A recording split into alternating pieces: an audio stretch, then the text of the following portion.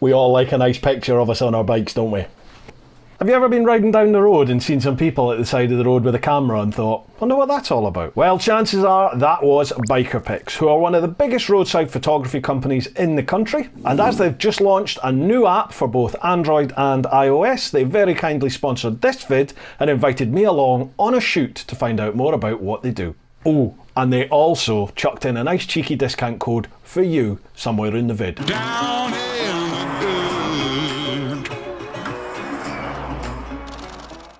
Right, folks, I'm here with Diane and David from bikerpics.co.uk. How are you doing?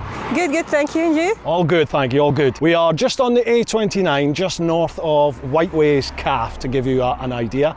And this is one of the locations that BikerPics uses. If you head to bikerpics.co.uk, you have all your locations on there with what dates you, you're going to be in places. Folks, if you're not aware of what BikerPics do, um, they have a number of, of freelancers all around the UK and specific sort of bike orientated locations which they go to. They stay there static and they take pictures of the bikes as they come by. Then you you can then go to bikerpics.co.uk.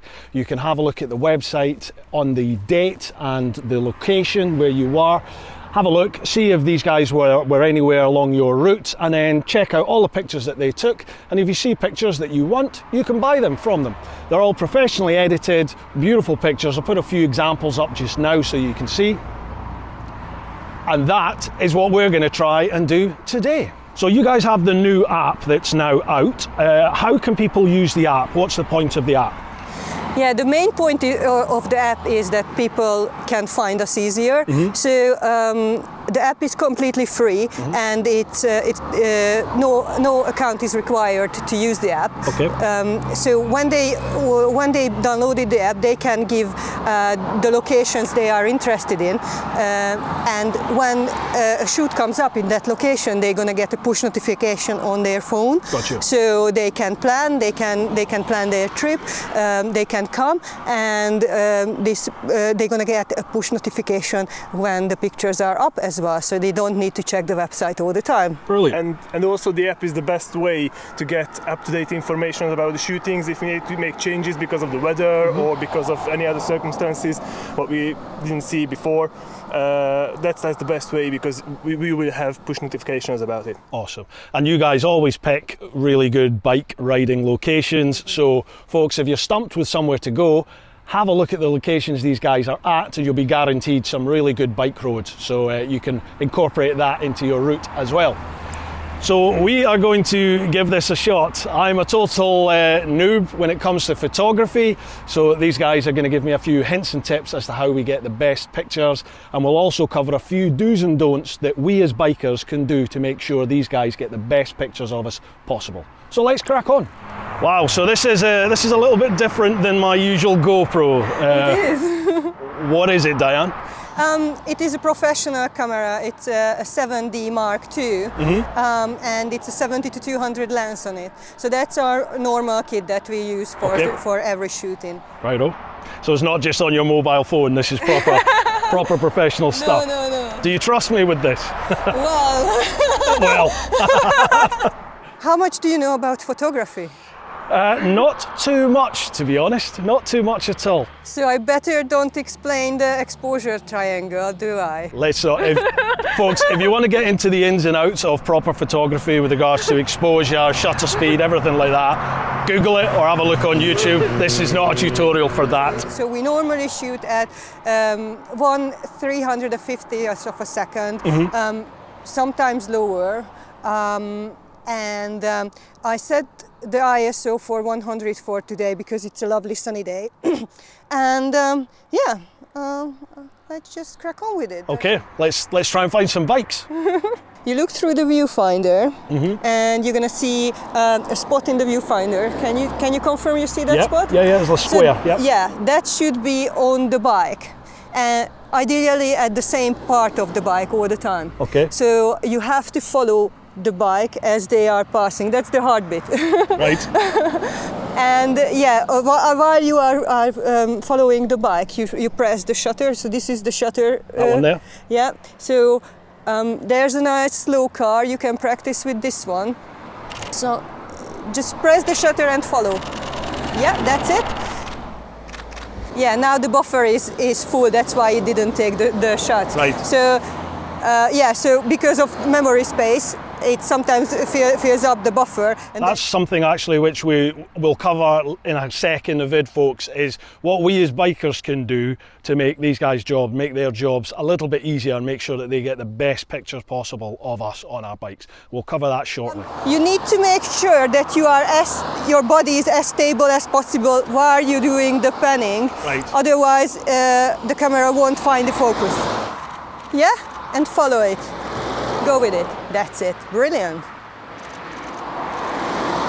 Good. Right, Diane, I've had a little play there. Let's have a look and see. Right. So Masterpieces. Yeah, sure. So you can Sure. Uh, the, you can you can zoom in your pictures and see that well, while it's not too bad, it ca- it could be a bit sharper. So this one is quite sharp. That's Mm-hmm. good. This one you can tell it's not sharp. Gotcha. now it, it goes out of the frame. So Yes. so Yeah, yeah. this this is going to be binned, binned, binned, binned. Lots of them been. Definitely not as easy as you think, folks. So, uh, shall we try with some bikes? yeah, hopefully. Right, Yeah, we have a lovely BikerPics bike coming up our way. excellent. Let's crack on. Let's see how we get on with some bikes. Right, we just have to wait for a biker. There we go. there he go, comes. It's quite hard to keep them in frame, isn't it? God, you must get really good shoulders doing this, holding it up. Now, now you can start shooting. That's it. Right, so uh, let's see how bad these are. It is really hard when you when you want to follow them all, all the way. It's really hard, as you can see. So he's out of frame here. He's, well out of frame here, here, here. This one looks like he's in frame. So I zoom in to check whether it's. See, you can't read Yep. the the text. Yep. So that's that's our rule of thumbs. If there is a text on the bike, like uh, Yamaha or something like or Suzuki or bikerpics.co.uk, you need to be able to read that. So Yep. that's uh, that's um, rubbish. Sorry. Um, this one is a bit better. This can be saved by, saved by editing. So this one is not as bad as the other one. But yeah, Not as bad as the other ones. yeah, So yeah. But what's the keys to getting a sharp image then? there are loads of things. So um, first of all, uh, you have to follow the, the, the bike, and you you need to keep the the the view uh, the spot in the viewfinder at the very same point. Right. Um, you need to make sure that you're you're aligned with the bike, your your upper body is aligned with the bike, but your um, lower body is as stationary as you as it can be. Um, it also helps uh, if the bike is has loads of contrast like BikerPics bike does. So shooting a green Kawasaki in this one Yeah. is a lot harder than shooting a, a white and, and black uh, bike. So um, yeah, it, so, it sounds easy, but it's, re- it's really not. There's a lot of things which we as bikers folks, which we can do to make these guys' jobs that little bit easier and make sure that they get some really good quality pictures of you. So we're going to have a quick chat with David now and he's going to tell us what we need to do and I'll go out and practice it. So David, uh, do's and don'ts for the bikers then to get the best pictures possible. Yeah, well, uh, first I start with the don'ts.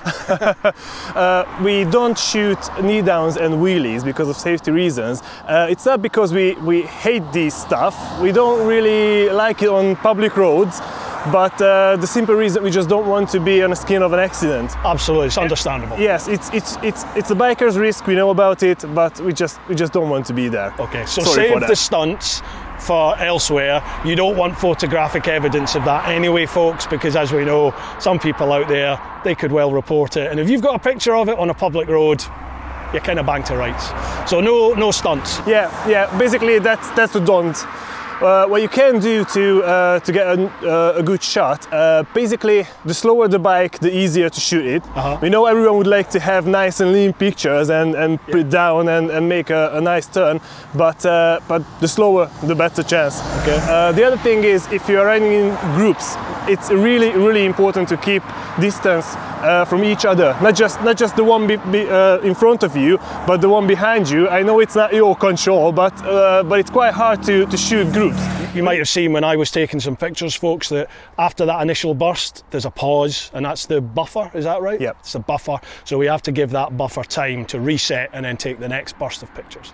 Okay, so keep distance between each other. The opposite thing, if you would like to have a, uh, a picture together Uh-huh. with your with your mate, uh, make sure you ride as close as you can. Okay. Stay safe, but make sure you ride as close as you can because uh, we cannot shoot bikes from distance each other. If you would like to have a, a, a same picture, two bikes, make sure you're close. The other thing is when when uh, lights are pretty bad, uh, fog lights, that gives us a lot of pain.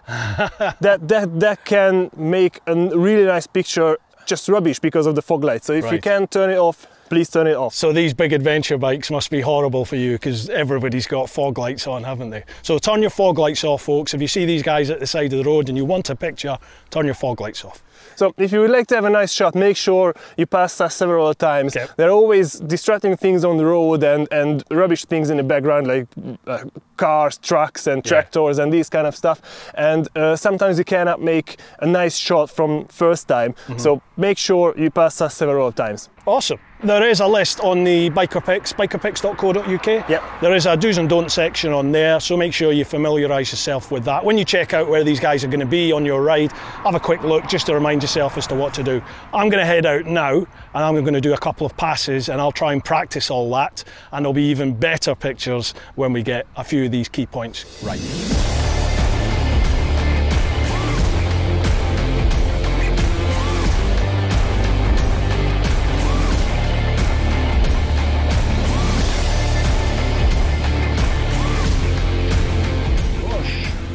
Right then, folks, you saw there that first pass I did. There was a big lorry coming the other way, wasn't there? Yeah. Yeah, here's your first pass. Yep. There's the lorry. Yep. Uh, I stopped shooting there and I restarted when the lorry passed, or you passed the lorry. Uh, and the other thing is, when you came up here, you thought you might have a cracking shot, but most of the time bikers not aware about the background, the backdrop. Yep. And as you see, there's another lorry in the Yeah. backdrop. So that, that's why we say it's it's better to pass us several times to make sure we got we got a nice clear shot like this. Wow, so that- that's how you do it. Yeah, yeah, and not not like that. It could be a really nice picture without the lorry in the background. Now you have the new app that's now gone live. Now on the app, folks, what you can do is you can have a look and say, right, well I'm going to be going to, in this case, Bury Hill, on this day, date, time, place. I'm going to be there. Boom. Make sure you take pictures of me. So once you push on that on the app and say, right, I'm coming here, what then happens? Well, you will have all of the push notifications about the shooting, uh, any changes in timing or uh, weather forecast or whatever. And after that, after the shooting, uh, when the pictures are ready, you will have another notification. They already go to the gallery and find yours and, Awesome. and get it. Oh, great. So, so uh, like if there's weather or just a, a, change in circumstances that means the time's going to change or the date's going to change, if you've tapped on the app and said, yeah, th- I'm interested in this one, you'll get told about that. And then, Yeah, as you yeah. said, it'll also tell you when the pictures are ready. And you don't need to find that information. It's you will there. have the notification sent about to you. it. Um, and where can people download the app from? Uh, it's available from uh, iOS and, uh, and Android devices, so App Store and uh, Android Play Store. Awesome. And is it free? Yes, absolutely. We all like a freebie. Now, you guys have very kindly given a discount code, I believe, for everybody that's following Teapot One. That discount code gives you 10% off from uh, digital pictures and it's valid till end of September. Fantastic. So I'll put the, the discount code down below. It's just TeapotOne, capital T, capital O. It'll be in the description as well, and uh, I'll no doubt be posting about it on the social. So make sure you're subscribed to my socials and Biker Pick socials, and we'll update you with uh, the discount code. And as David just said, that is valid till September, Yeah, till the end of September. till the end of September 2021. You'll get 10% off. Right, folks, hope you've enjoyed this one. A huge thank you to Diane and David for inviting me along. I hope that's given you a little heads up as to what the guys here at BikerPics do. And if you fancy a little bit of photography yourself, it's maybe giving you a few hints and tips. Remember to follow along on my socials and on BikerPics socials. Check out the app as well when that's out. Get yourself along and get some cracking pictures done of you. And don't forget to make use of that 10% discount with Teapot One. Guys, thank you very much for having Thank me you along. very much. And uh, look forward to seeing you guys on the road. Thank you. See you soon. Take it easy. Bye.